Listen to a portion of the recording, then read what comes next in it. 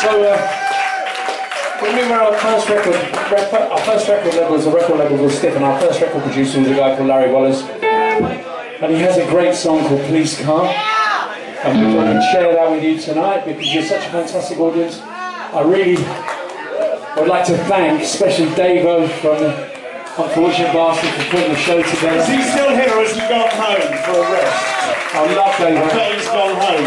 And then the victims, Yes. everybody that played tonight was just really fantastic and uh, we're going to sing this song for you because I want you to take care and be careful on the way home you could go end up going home in a police car.